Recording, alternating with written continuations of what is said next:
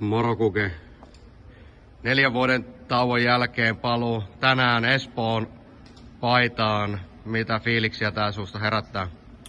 No tosi innoissaan on, että, että, että ne neljä vuotta mitä mä täällä olin, olin tota, niin, niin mulla on ainoastaan pelkkiä hyviä muistoja niistä ja, ja, ja se fiilis mikä täällä hallissa on aina ollut ja, ja, ja miten aina espoolaiset on pitänyt toisistaan yhtä jäällä ja, ja, ja koko organisaatio saatio pitänyt toisistaan huolta ja, ja, se taistelu ja, ja muuta, niin sitä tässä on viime vuodet ikävöinyt ja mahtava päästä tänne aina vaikeana, tilan, vaikeana tilanteena niin päästä tänne ja pukee ensimmäistä kertaa ikinä kiekko paita päällä.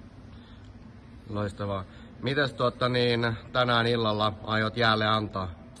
No nimenomaan sitä, mitä mä oon tänne aikaisemminkin tuonut, että sitä taistelua ja periksi antamatonta puolustuspelaamista ja, ja, ja yritetään myös pelata fyysisesti ja, ja, ja ennen kaikkea pitää huoli, että se oma pää pitää, pysyy puhtaan. Hyvä. Ai niin, hei. Täällä on hieno ottelutapahtuma tänään ja Lätkä on parasta paikan päällä. Tuu säkin tsiikaan tää matsi tänään. Tai jos et pääse tänään, niin tuu viimeistään huomenna.